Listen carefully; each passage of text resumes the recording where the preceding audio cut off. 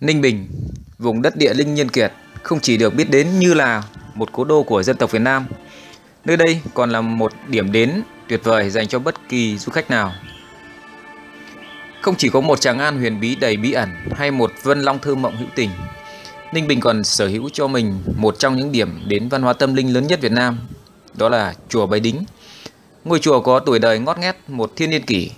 Đến với chùa Bái Đính thì bảo tháp cao nhất Đông Nam Á sẽ là một điểm đến du khách không thể bỏ qua khi đến với quần thể kiến trúc Phật giáo này. Đến với chùa Bái Đính, bên cạnh một bái đính cổ Tự yên tĩnh, hoài cổ, những hang sáng, động tối hay đến đền thờ Thánh Nguyễn thì Tân Bái Đính tự là một điểm đến du khách chắc chắn không thể bỏ qua khi đến với quần thể Phật giáo này. Được xây dựng trên nền kiến trúc Phật giáo Việt Nam. Bên cạnh danh hiệu khu chùa rộng nhất Việt Nam, Tân Bái Đính tự còn sở hữu cho mình rất nhiều kỷ lục như tượng Phật bằng đồng rát vàng lớn nhất châu Á, tượng Phật Di Lặc bằng đồng lớn nhất Đông Nam Á, chuông đồng lớn nhất Việt Nam, khu chùa có hành lang La Hán dài nhất Việt Nam, khu chùa có nhiều tượng La Hán nhất Việt Nam. Bên cạnh những điểm nhấn kiến trúc như tượng Phật trong điện Pháp Chủ hay hành lang La Hán dài gần 3 km thì điểm nổi bật nhất của quần thể Tân Bái Đính tự đó chính là Bảo Tháp Xá Lợi.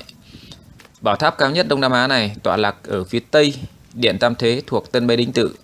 Bảo tháp Xá Lợi bao gồm 13 tầng tháp với chu kỳ theo hình lục giác là 24 m và chiều cao của tòa tháp là 99 m, một con số tượng trưng cho sự vĩnh cửu, tốt lành và may mắn được thiết kế và xây dựng hoàn toàn thuần Việt với kiến trúc mang đậm dấu ấn Phật giáo thời nhà Lý với những họa tiết hình mây, sóng nước, cánh sen,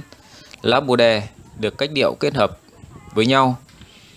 Với vật liệu xây dựng là những viên gạch đất nung được làm hoàn toàn bằng phương pháp cổ truyền của làng gốm Bát Tràng. Bảo tháp xá lợi, chùa Bái Đính chính là biểu tượng cho một nét văn hóa Việt Nam với sức sống, tồn tại mãnh liệt. Bảo tháp xá lợi, bảo tháp cao nhất Đông Nam Á tại Việt Nam chính là một điểm nhấn quan trọng và không thể thiếu trong quần thể chùa Bái Đính Ninh Bình. Chân tháp là một uh, kiến trúc hình uh, lục giác kiên cố với chu vi là 24 m.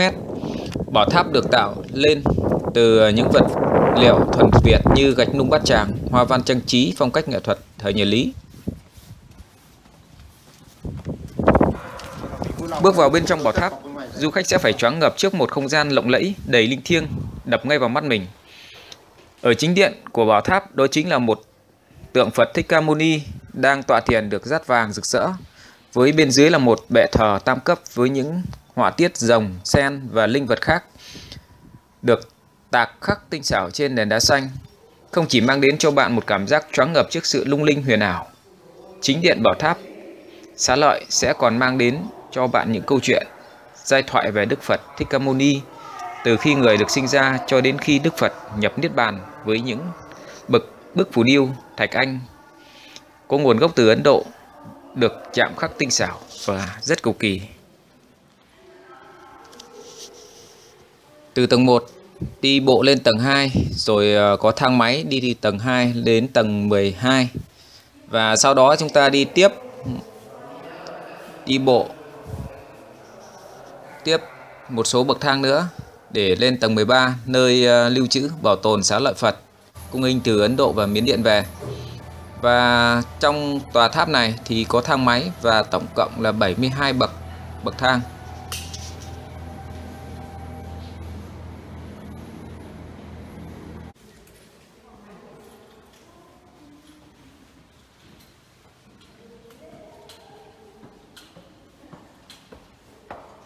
Điểm đặc biệt nhất của bảo tháp xá lợi chính là tầng thứ 13 của tòa tháp. Khi nơi đây chính là nơi lưu giữ ngọc xá lợi của Đức Phật Thích Ca Mâu Ni, là nơi đặc biệt linh thiêng nên tầng cao nhất của bảo tháp xá lợi được thiết kế với một phong cách kiến trúc khá đặc biệt, là sự giao thoa giữa văn hóa Phật giáo Ấn Độ, quê hương của Phật giáo và những nét văn hóa truyền thống của Việt Nam. Ngay chính giữa điện là tháp xá lợi, nơi cất giữ xá lợi Phật bảo vật của Phật giáo Ấn Độ và thế giới. Ngay phía trên xá lợi chính là một mái vòm cong với hình tượng hoa sen ngay chính tâm. Xung quanh là hình tượng Đức Phật Thích Ca đang thiền tịnh và hình tượng lúc Ngài nhập Niết Bàn. Xen kẽ với hình tượng chim lạc biểu tượng cho vẻ đẹp của dân tộc Việt Nam. không chỉ mang đến cho du khách một sắc màu linh thiêng lộng lẫy, tầng cao nhất của bảo tháp xá lợi sẽ còn mang đến cho bạn những giây phút choáng ngợp trước vẻ đẹp thiên nhiên hữu tình nơi đây khi được ngắm nhìn toàn cảnh chùa Bái Đính từ trên cao. Khi có mặt ở tầng 13 nơi uh, lưu trữ và bảo tồn xá lợi Phật thì uh, du khách được khuyên cáo hãy tĩnh tâm đi một vòng quanh tượng Phật theo chiều kim đồng hồ, đồng thời bước nhẹ niệm Nam mô Bản sư Thích Ca Mâu Ni Phật. Một điều đặc biệt trong bảo tháp nữa đó là có uh, bày và thờ một bức tượng Phật do quốc vương Campuchia là Norom Sihamoni à, tiến cúng trong à, chuyến viếng thăm chùa Bái Đính ngày 25 tháng 6 năm 2008.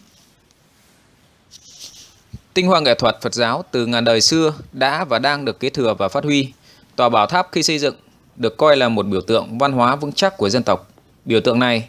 tòa bảo tháp là nơi thể hiện công sức, trí lực của ngàn đời nay trong việc gìn giữ và bảo tồn, phát huy truyền thống văn hóa dân tộc. Qua đây, những truyền thống văn hóa tâm linh, tín ngưỡng thờ Phật cao quý tồn tại qua nhiều năm lịch sử cũng được giữ gìn và phát triển. Nổi bật giữa nền trời xanh, bảo tháp xá lợi, chùa Bái Đính, bảo tháp cao nhất Đông Nam Á tại Việt Nam chính là một dấu ấn quan trọng trong tổng thể kiến trúc quần thể tâm linh chùa Bái Đính, nơi mà du khách không thể không ghé qua mỗi khi đến với cố đô Ninh Bình, cố đô với những di sản thiên nhiên tuyệt đẹp làm nao nước tâm hồn. Khi đứng tại tầng cao nhất của bảo tháp, phóng tầm nhìn ra xa, du khách có thể quan sát được toàn cảnh chùa Bái Đính đẹp tựa như một bức tranh sơn thủy hữu tình.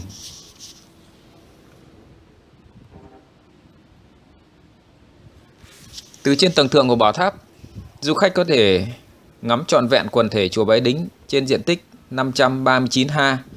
bao gồm 27 ha khu chùa Bái Đính cổ và 80 ha khu chùa Bái Đính mới.